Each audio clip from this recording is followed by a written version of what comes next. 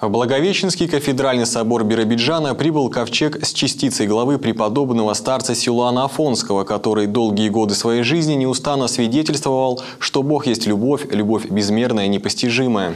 Серебряный ковчежец со святыней, которая хранится в Пантелеймоновом монастыре на Святой горе Афон, поспешили встретить духовенство и жители еврейской автономии во главе с епископом Биробиджанским и Кульдурским Иосифом.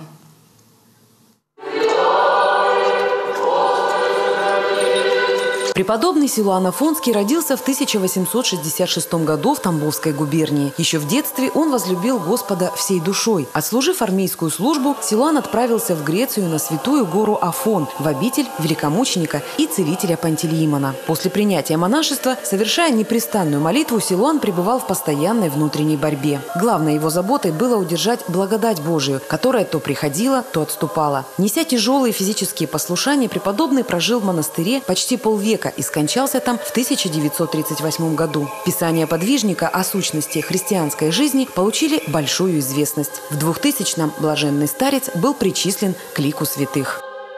После своей блаженной кончины старец Силуан многим являлся в видениях и многим помогал в различных обстоятельствах жизни и исцелял различные физические и духовные недуги. Пусть молитвы преподобного старца Силуана помогут и нам с вами, братья и сестры, стяжать в сердце своем благодать Святого Духа. Помогут и нам с вами приобщиться к Царствию Божию, потому что ведь Господь Спаситель Евангелии сказал, Царствие Божие не придет с соблюдением, и не скажет оно там или здесь.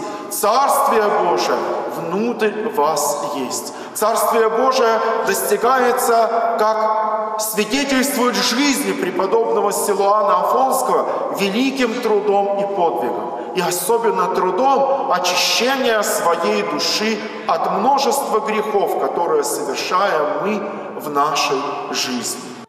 С 70-х годов 20-го столетия известны случаи многочисленных исцелений от главы преподобного, которая хранится в Свято-Пантелеимоновском монастыре на Афоне. Но не каждый может совершить путешествие в Грецию. И, как известно, на Святой Афон запрещен вход женщинам. Теперь возможность приложиться к святым мощам преподобного Силуана появилась и у верующих автономии.